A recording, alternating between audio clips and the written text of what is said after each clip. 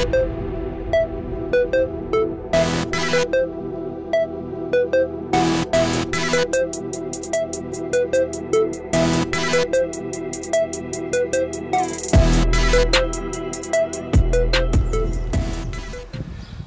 good morning YouTube. Um, it's supposed to be 18 degrees in the UK today.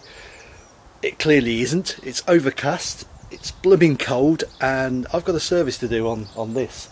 Um, just had a parcel turn up for one of my favourite suppliers with all the bits to do it. So, it just remains for me now to probably put a jacket on because it's colder than I thought it was going to be and um, open up the package, have a look inside and bang them on the car. Easy as that. What could possibly go wrong? Five minute job. But we're on lockdown so we've got nothing else better to do. Right, let's get on with it. Okay, use these guys a lot. They are brilliant. They really are. Um, so this one is for a service um, that I'm going to do on the, the car you just seen, the silver A3, the convertible. It's the Weiss car and it needs uh, new oil, filter and uh, obviously air filter as well. So they are all in this package. So let's get it open and then we'll start getting the oil changed on it. Let's dive inside. So we've got a, a male filter and we've got some wonderful Miller's oil which I've used now for several years, use it in the S3, that's when I started using it and it's good stuff, I like it. So we've got some long life Trident from Miller's. Um, we've got a air filter, tiny little air filter, does the job and I'm hoping as long as I hope you haven't let me down. Yes! This is what I enjoy. Opie air fresheners. I know it sounds a bit sad, but these things are gorgeous. And they last for ages as well. So, um, yeah. Always get an air freshener with the, the Opie orders. And um, it brightens my day up. That's right. Let's, um, let's get sorted. Get the car jacked up. Get the bottom panel off. And uh, let's get the oil changed.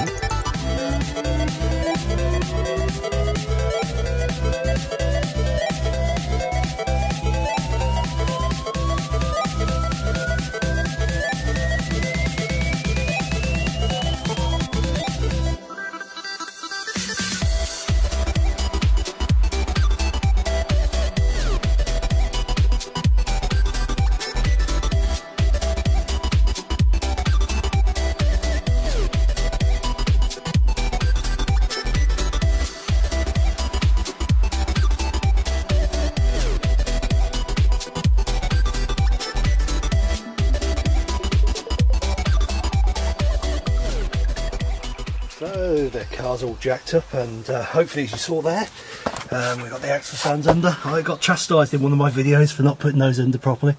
Uh, I don't let the jacks down on the jack stands. The jack stands are there as a backup. So if the trolley jacks do fail and go down it'll end up resting itself on those particular stands just there.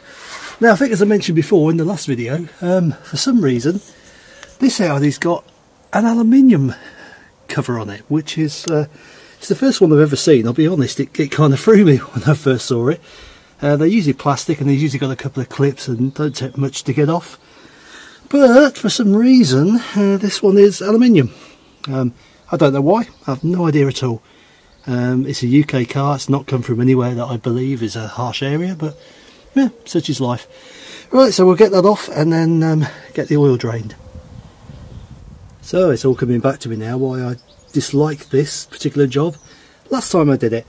So for reference, uh, the screws, these little kiddies here, are T30s, there you go, T30 socket, and they are basically all the way along the front of the plate, all the way down the side of the plate, all the way down the back of the plate, back down this side again, obviously. Then you've got, for some god knows what reason I have no idea a 10 mil there and a 10 mil there.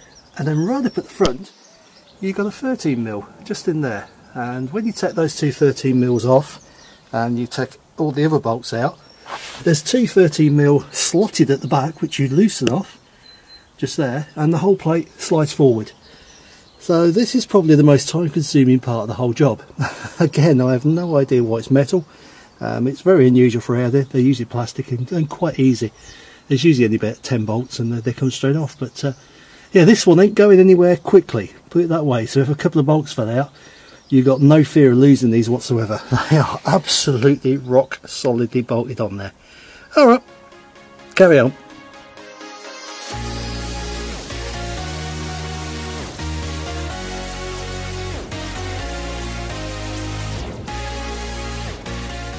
And there you go. Once you've got all that lot out you can then take that out Audi never over engineered or complicated at all. Even got sound deadening on the bottom of it. That's how serious they are about their quality. Right, so let's just stick them in the here for a minute. So now we have the Wobbler engine. And there you go, even got sound deadening on the bottom of the engine as well. Good grief. And now we've got to get down here. Oh, join me folks. This is going to be a squeeze. Ah, got to get to that bolt there. Oh, let me turn you around. There you go, to that bolt there. So at the back of the engine, just release that and that will then enable you to drain the oil. Right, let's get on with it. So for reference, the sump bolt is actually a 19mm, which you can see there, 19mm spanner, there you go. But the annoyance is that, um, yeah, because of all this cradle to hold the, um, the bottom plate on, there's a bar right across where the oil comes out so that's going to splatter everywhere. Strange engineering sometimes you gotta say.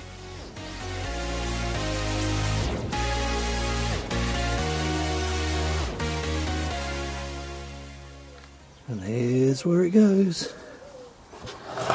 Make sure the tub's in place. This is where all the splatter happens look at that yeah Not great Audi. And while that's draining out, let's get the cover off, expose the filter, and that'll be the next job to be changed. And there you go, cover off, and the filter is just down there. Not too bad to get at. Uh, basically, leave this pressure sensor out the way, and you can get a socket in there. Course, you're going to be difficult, aren't you? Made in the USA. What? What? Made in the USA? on a German car. Okay, so as I was saying, uh, it's not too difficult to get that, so I will get my socket in there and uh, we'll get that off. So for reference that's the 32mm. Um, it's easier as well if you take that particular screw out there and release this fuel rail just here and obviously that bracket that goes with it. Gives you a cleaner shot so rather than uh, damaging the, uh, the filter housing there, that gives you a bit of a cleaner shot at it and uh, makes it a lot easier to take it off, which is what we're going to do now. So it shouldn't be too tight. There you go, quick clip, and basically that's all it takes, turns it off, and I'm going to get myself something to throw that in. So as I say, beware, there is going to be a little bit of mess, not too much, but I've got a box ready to throw it in which I use to recycle it and the cloth on standby. Okay so that is undone all the way. It should now lift.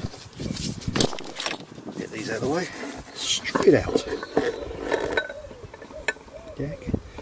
just give it a second to drop the oil that's sitting on top there and straight up. And in there like that. There you go. That is the easiest way to do it. It saves all the mess, all the, the fanning about to be honest. And, and all I'm left with is a little bit of residue on the pipes there in the bottom which I'm going to clean up now.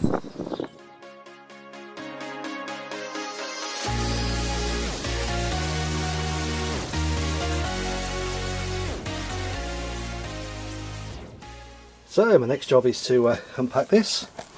This is the new filter. There it is, nice and shiny and clean Just put a bit of rag on the floor. Nice bit of clean rag there, bit of burnt cloth. just to put that on so we don't get any cross contamination. Good camel work Reeves, nice looking at the uh, brick and patio cleaner.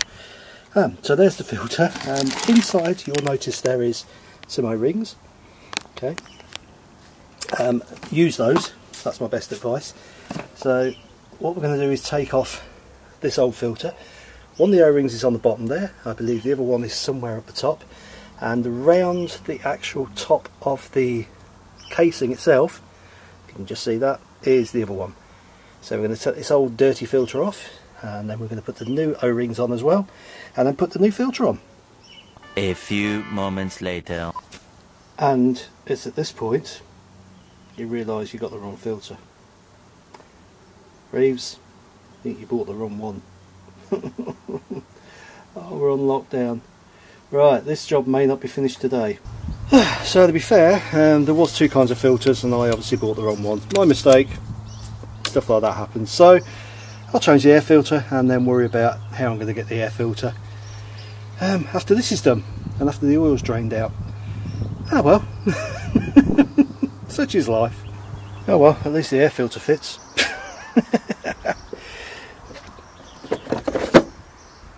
Ta-da! Well folks, drama averted. One of those. And da da da one of the matches. Hey, I've got to give a big shout out to GSF. I really have. So I ordered these click and collect, and you go and pick up within the hour. Um, it says uh, give it an hour at least, but yeah, um, it must have been about probably 40 minutes for me. Uh, they're ready and waiting to go.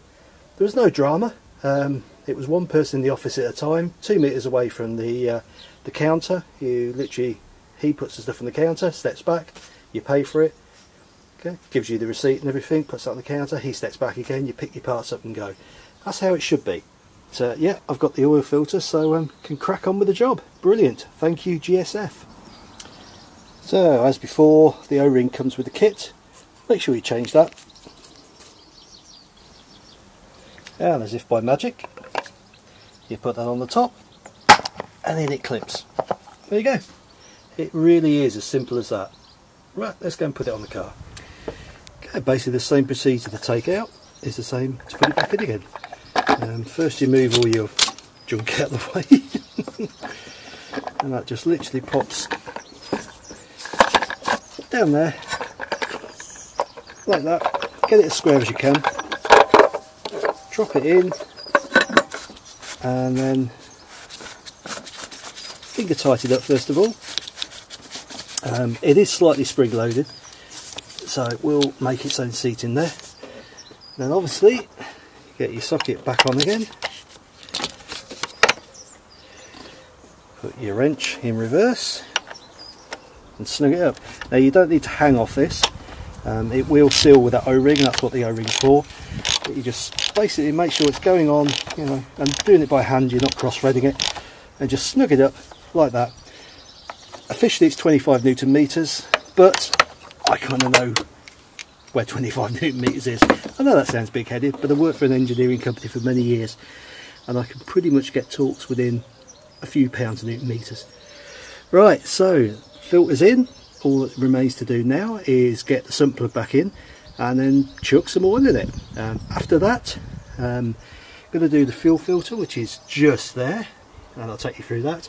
And then going to try and do the cabin filter, which I think is a bit of a pain on this one, but uh, I can't recall. So you're going to join me, um, whatever it is, you'll be joining me for it. So the sump plug's ready to go in. Now I changed this, um, I've changed the the actual washer on it last time I did this I believe so don't need to change it every time. You can buy brand new ones. GSF do those as well. But at the moment I don't need one. So um, I'm going to clear up that oil and then we'll get the sump plug back in again. So the sump plug is in. Um, be very careful when you're doing this. Um, I think I've, I've mentioned it before. Just turn you around. You can see what's going on. It is an Ali sump and it is a steel sump plug. So get it in by hand, it is a bit of a strange angle, um, so get it in by hand, I've actually wound that all the way in by hand and all I'm going to do now is get my 19mm ring on it and just give it a little tap tap. That's all it needs, that's all it needs just to snug it up. Okay, let's get some oil in it. Now, as I've mentioned in other previous videos, um, I've used all sorts of funnels over the years, and the best one is one of these. Cut the top off your pop bottles, or your squash bottles. They work brilliantly. Never have a problem with these at all. Okay, let's get some oil in.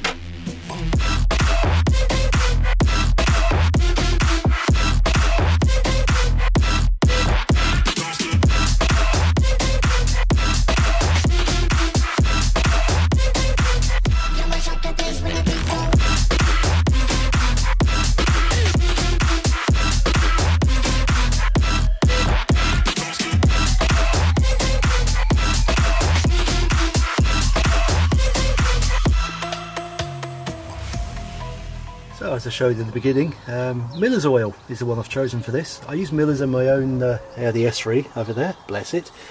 And, and this one is uh, a long life one.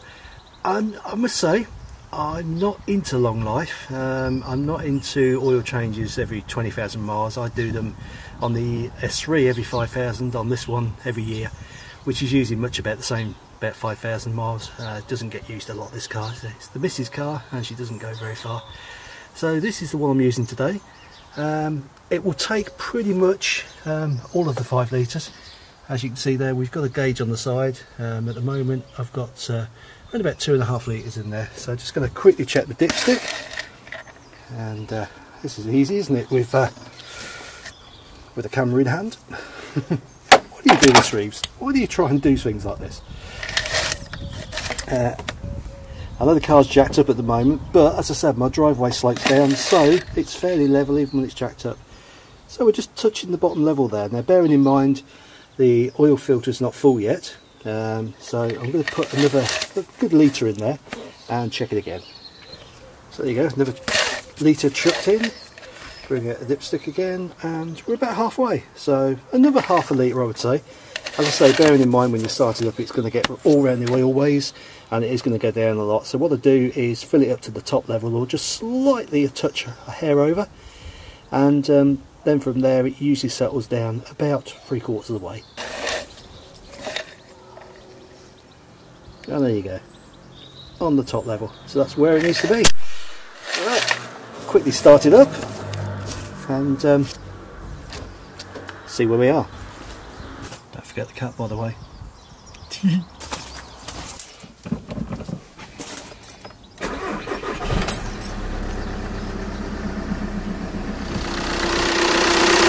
There you go, serves like a diesel. A diesel with fresh oil in it. Okay, I've left it for a couple of minutes, so let's pull the dipstick now. Uh, give it a quick wipe. There you go. Slam it back in again. And back out. And the level says, there you go, three quarters that will do for me. Uh, I'll check it again in a couple of days and just top it up if necessary but uh, usually that works well for me. You take it to the top limit or just slightly over, um, start it up, let it run around for a, a, minute or a few seconds and then let it stand for a while and check it. Um, like I say, um, yes it's jacked up and you shouldn't really check the oil on the car when it's jacked up but as you can see, hopefully, it's pretty level when it's jacked up because the driveway does slope down. Uh, again, I shall put it on level surface and just check it, but um, as long as it's between the low mark and the high mark, yeah, you're not far out, let's be honest. Right, next job, fuel filter. Okay, this time we're using the T20. Place it in there, and obviously, well, you know the rest. Let's crack the bolts. Now you're going to have to take my word for it that the filter change is really easy, because um, I didn't film it. so basically, six screws out, one, two, three, four, five screws out, get it right Reeves, lift the top off, the filter is in there, put the new filter in, bolt it all back up again.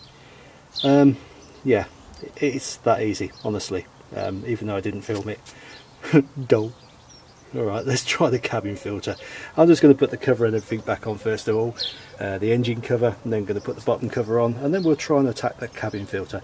I'm not going to take you through putting it back on again, you see me take it off, it's pointless and I'll probably forget to press record anyway. and what about this for service? but two in one day? drinking us out of house, house and home. Something like that. We'll just nip to the shops. Oh no, we can't. Thank you. How's it going then? It's going all right. Yeah. Yeah. No now you oil. got the right stuff. New oil's in. Yeah. just got to put all that stupid cover back on with all those bolts and that thing over there, and then put the engine cover back on, and then got to do the cabin filter. Do you want to do that? No. So Okay. you'll be a few hours then. No. Ten minutes. Ten minutes to do all that. Yeah, ten minutes. I don't believe you. if it was only going to be ten minutes, you could have waited for a coffee. You know when you say ten minutes Yeah. and it turns into an hour, that's where we're talking. bye bye. Bye. So next job, and if I recall rightly, uh, if it's the same as mine, under here is where the cabin air filter is. There should be a cover with a couple of screws on it. Uh, I can feel one, so we'll take that off. One down. Uh, ah, there it is, right on the other side. So there's a screw just there. There we go. Basically, yeah, they're just like that. That's all they are, just to hold this piece of fabric trim on. Uh, and that then should. Why do I always do this when I'm holding the camera? that then should pull a cover down. Like That.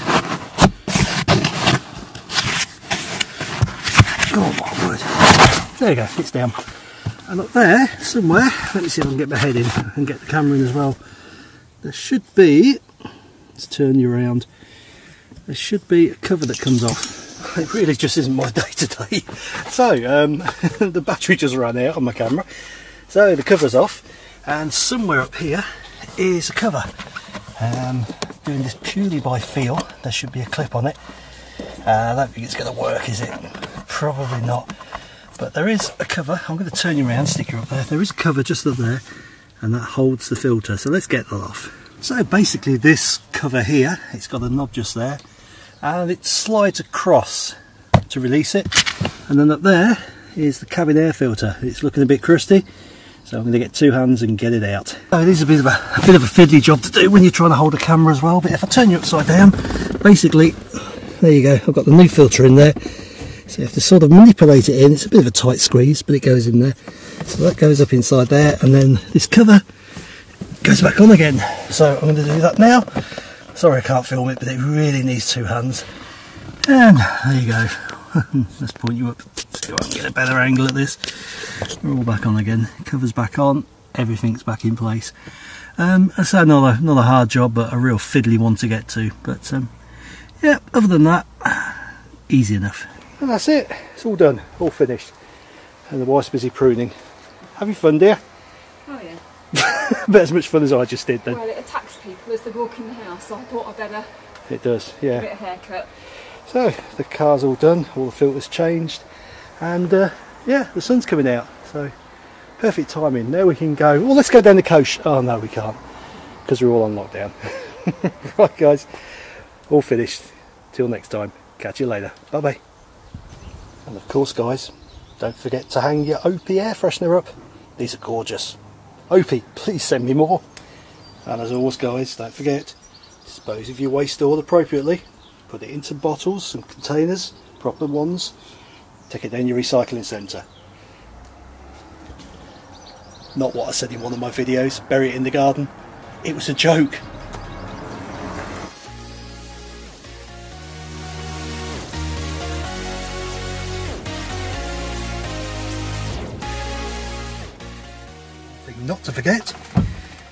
Counter. So we turn the ignition on,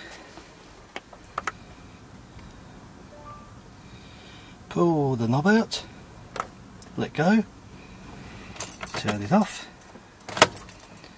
turn it on, pull the knob out, there you go, pull it again, hold it for a few seconds, resets the counters, there you go, 9,000 miles, 365 days.